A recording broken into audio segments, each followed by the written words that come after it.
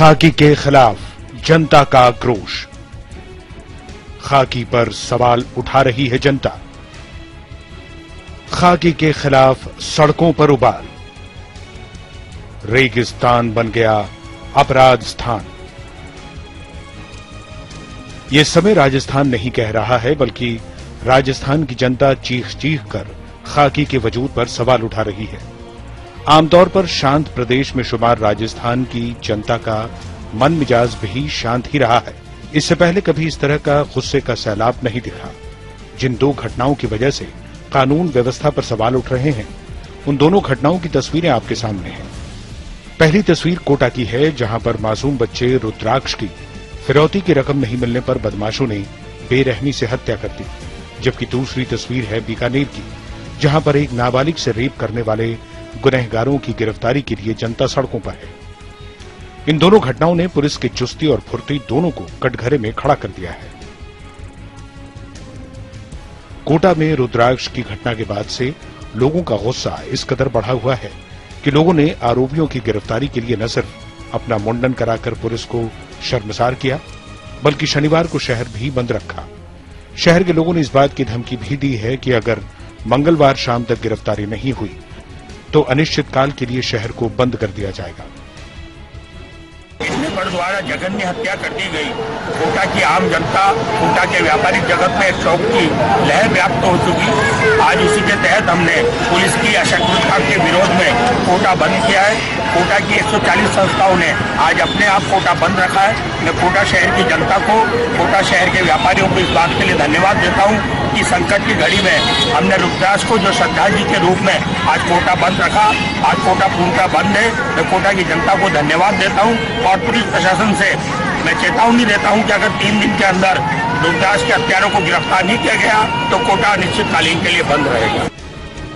जनता का गुस्सा जब फूटता है तो उस सैलाब में किसी का बचना मुश्किल हो जाता है। शायद यही वजह है कि उस आने वाले सैलाब को भागते हुए मुख्यमंत्री ने अपने मंत्री यूनुस खान और विधायक को कैंप करने का फरमान दिया। बावजूद इसके अभी तक पुलिस खाली हाथ है। ये बात अलग है कि स्केच और इनाम की घोषणा करने के बाद पुलिस अब सबूत मिलने का दावा कर रही है। ये बात खैर निश्चित रूप से है कि तुरंत उसी समय बच्चा मिला नहीं इसके कारण खैर उसकी हत्या हुई।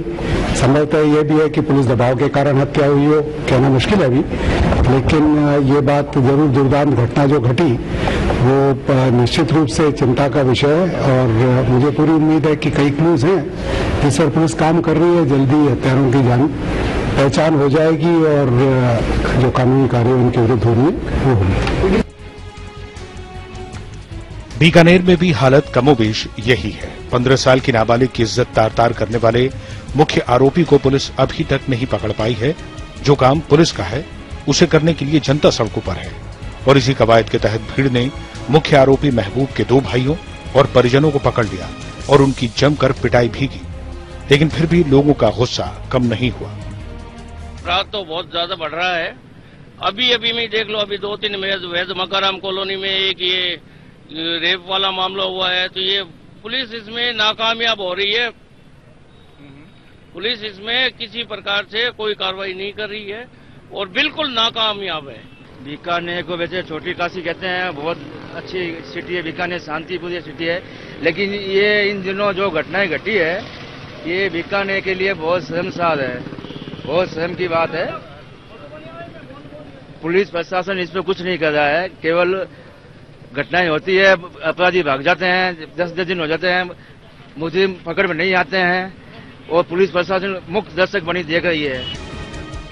हर वक्त शांत प्रदेश की दलील देकर अपनी कॉलर टाइट रखने वाले राजस्थान पुलिस के अफसर की चाल ढाल पर सवाल उठने लगे हैं। क्योंकि पहले पूर्व आईएएस मोहंती को खोजने में सामने आई नाकामयाबी, फिर अलवर में पुलिस पर हमला और अब बीकानेर कोटा की घटना के बाद राजस्थान पुलिस की कार्यप्रणाली पर सवाल उठना लाजमी है। कोटा से सुनील पांचाल के साथ बीकानेर से के के सिंह, समय राजस्थान।